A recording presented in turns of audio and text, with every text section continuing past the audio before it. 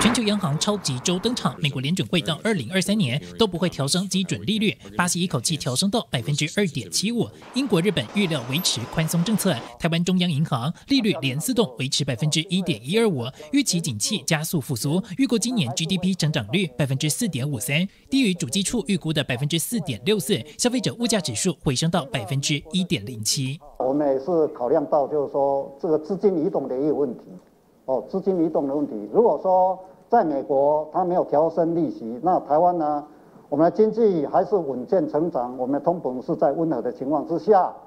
我们还是会考量到美国的一个呃的的利率的情况，因为美国的利率的情况呢会导致资金的移动，那这个呢啊恐怕呢就是说我们的货币政策呢，我们也要必须要做一个考量。台湾经济稳健成长的同时，央行却再度抛出震撼弹，配合政府健全房地产市场方案。三月十九号开始，国内公司法人购置住宅贷款最高成数一律限制为四成；自然人方面，第三户开始从六成降成五点五成，第四户以上降为五成。工业区闲置土地抵押贷款也从过去银行自律规范限制为最多五点五成，可以说加大打炒房力度。一合一在实施前的前半年呢？事实上呢，他就有一个预期的心理，也就是说，所谓预期，就是说这个呢，会对抑制那个短期炒作的哈，它会有很明显的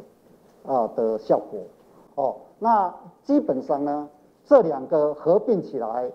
它都是会有效果的。货币政策的这一部分，选择性性管制的这个部分呢？哦，这个会要换要换的部分大，但是呢，对于房价会下跌的一个预期性呢，应该它也会有作用。央行观察到法人囤房，而且短期买卖明显，自然人持有多户房屋贷款，也不利金融机构授信风险控管。为了避免过多信用资源流向不动产，预估长期下来就会看到效果。行政院近期也通过房地合一二点零版本，推动修法，两大部会联手，试图遏制炒房乱象。